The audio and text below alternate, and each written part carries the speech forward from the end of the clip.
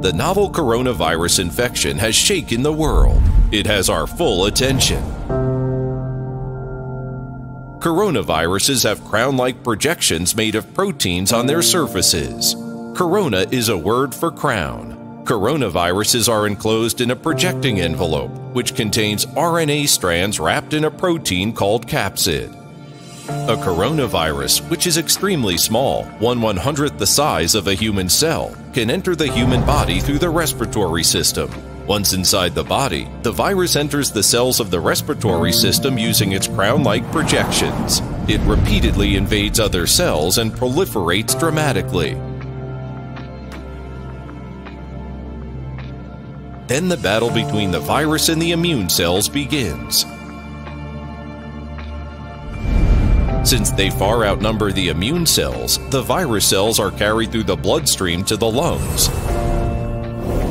And after a while, the entire lung is infected with the virus, causing pneumonia. At the same time, the coronavirus takes advantage of the respiratory system to move on. Spread of infection when we sneeze, droplets are expelled a considerable distance and range.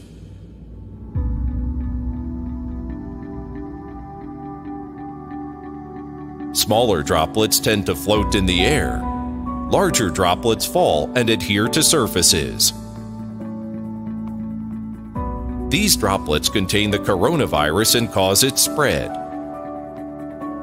The coronavirus can survive on various surfaces for hours to days.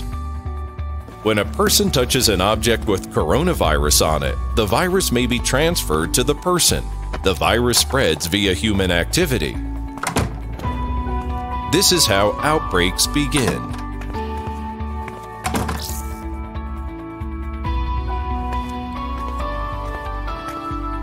Touching many objects every day, we can get the virus on our hands, then by touching our mouth or nose, introduce it into our bodies.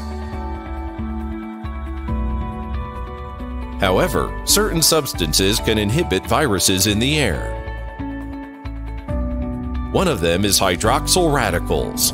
Unfortunately, hydroxyl radicals normally survive only a short time in the air. Do we have a way to deal with this?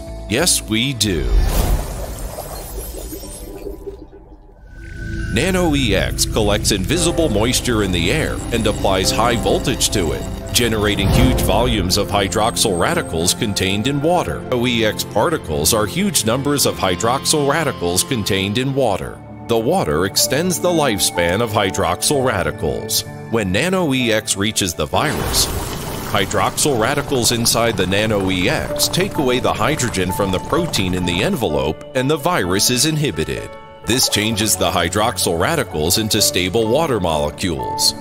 NanoEX can survive about 10 minutes in the air and can fill the entire room. So NanoEX is effective not only against airborne viruses, but also against viruses adhering to surfaces in the room.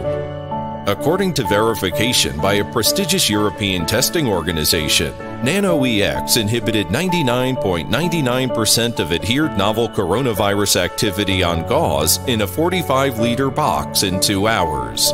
Offers a cleaner space with less risk to your loved ones. A new lifestyle with NanoEX.